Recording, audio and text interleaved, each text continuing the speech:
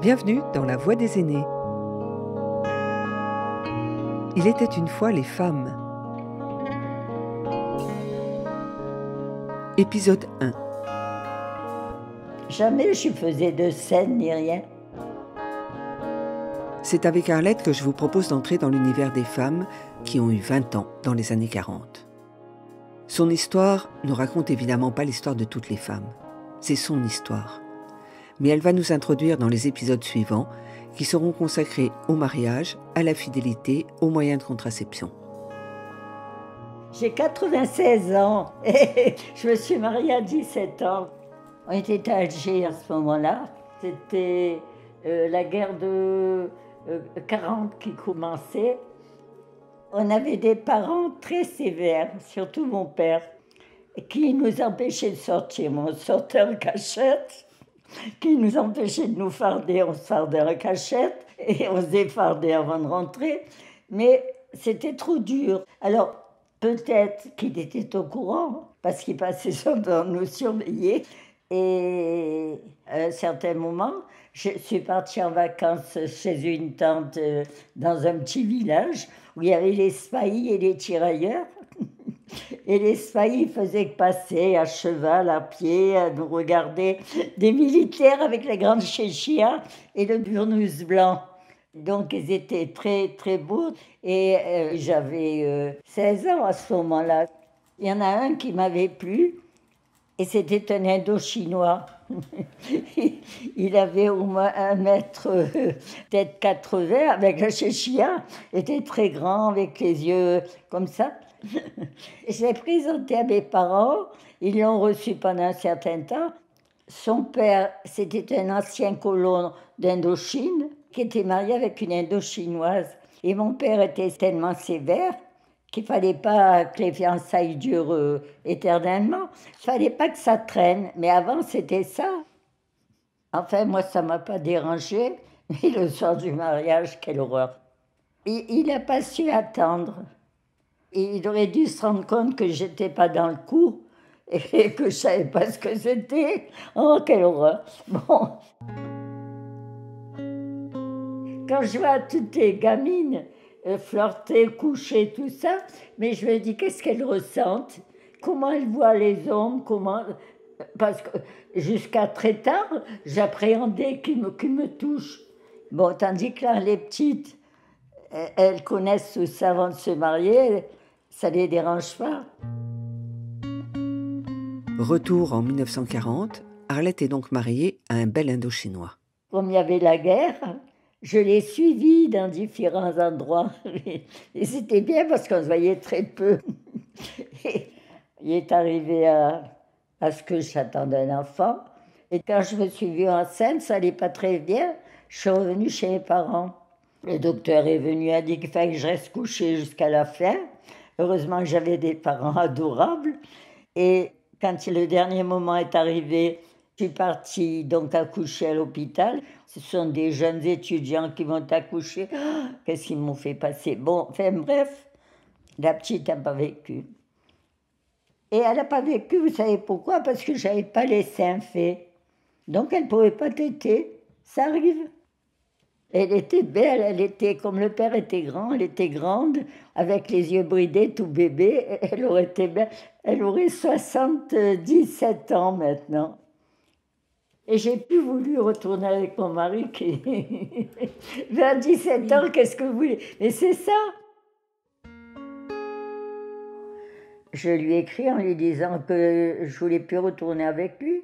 À l'époque, le divorce par consentement mutuel n'existait pas. Comment Arlette a fait pour divorcer?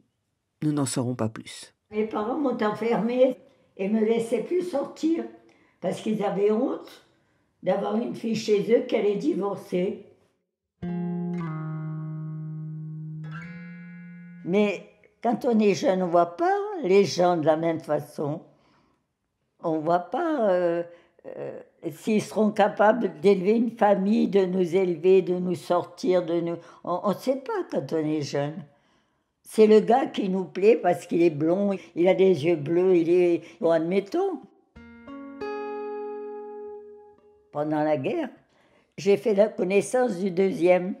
Et puis peu à peu, à force de se voir, bon, le deuxième, je savais ce que j'avais, ce que je prenais, et je, l'aimais beaucoup. Bon, il, m'avait plu quand euh, je le voyais avec les unes et les autres, mais je ne pensais pas que c'était dans son caractère, j'avais su. Et, et bon, mais ça l'aurait pas changé, il était comme ça. Il avait le faux aux fesses perpétuellement et sans arrêt. Arlette se réfugie chez ses parents avec ses deux enfants alors qu'elle vient de déménager avec son mari à Marseille. Elle demande à sa mère de partir s'occuper du nouvel appartement. Ma mère est partie et quand elle est revenue au bout de trois, quatre jours, elle m'a dit ça suffit, maintenant tu retournes rejoindre ton mari avec tes enfants. Eh bien, je suis retournée, elle a bien fait. Et ma sœur de Grenoble, le jour m'a dit, tu sais pourquoi elle t'a dit ça? Parce que quand elle s'est mariée, elle avait 16 ans. Au bout d'un certain temps, elle s'est rendue compte qu'il y avait quelque chose qui ne devait pas lui plaire, je sais pas. Elle est retournée chez sa mère. Et sa mère lui a dit Ah, tu es mariée maintenant. Je n'ai pas te garder. Tu retournes chez toi. Tu retournes avec ton mari. C'est ce qu'elle m'avait dit. et après, elle l'a regretté. Je suis restée jusqu'à la fin avec mon mari, alors que j'en ai vu toutes les couleurs. Et ça n'arrêtait pas. Jamais il aurait, fait attention. Et je me demande, avec les autres, est-ce qu'il faisait attention ou pas? J'allais voir un médecin.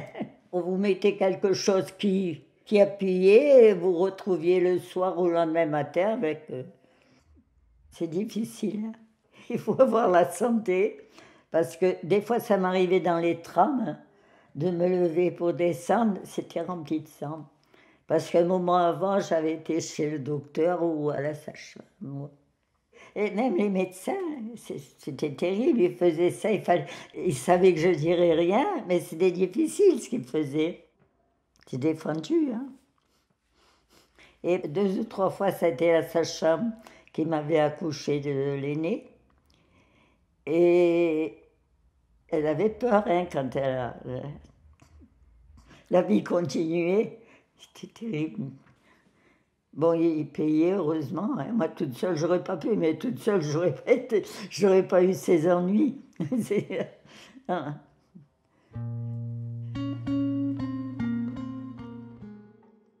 Eh ben, j'avais deux enfants et, j'avais aucun travail à part celui de la maison qu'on m'avait appris, mm. qui était impeccable, la maison impeccable, les enfants impeccables, le mari toujours impeccable, et qui est toujours retourné à la maison après parce qu'il savait qu'il manquerait de rien à la maison. Bon, voilà. J'étais enfermée à faire du ménage, travailler ailleurs ça aurait été très difficile. Lorsque les enfants revenaient de l'école, moi, fallait que je sois là.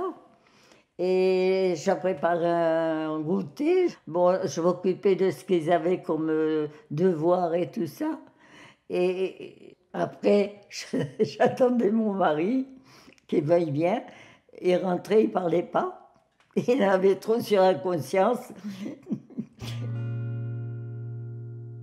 Jamais je faisais de scènes ni rien. Si, je faisais des scènes pour les heures. Quand il vous disait à midi et demi, je suis là, ou à une heure, il était deux heures et demie, trois heures quand je rentrais. Le samedi, c'était trois heures. Hein.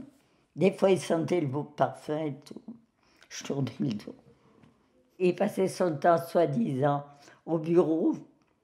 Le plus tôt, c'était 9 heures du soir. Et quand il est arrivé le samedi à 3 heures de l'après-midi pour manger, j'aurais. Mais je servais. Moi, j'ai commencé à sortir toute seule, j'ai commencé à voyager. J'ai fait presque le tour du monde. Parce que votre mari était mort Oui. Ça s'est trouvé à 50 ans. J'avais 50 ans, lui 60 ans. Eh bien, c'est là où je me suis rendu compte qu'à 50 ans, pour une femme, c'est l'âge idéal. Je vous jure, hein, c'est merveilleux de se sentir libre. Est-ce que vous ne pensez pas ça, vous?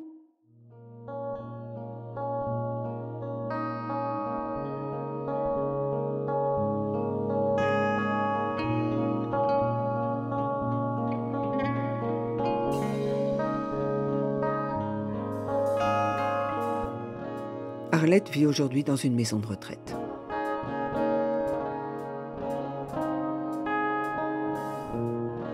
C'était La Voix des aînés, une production signée Partage de Voix, avec le soutien de la Fondation Corian pour le bien vieillir. Réalisation Sophie Pillot, Michel Créis.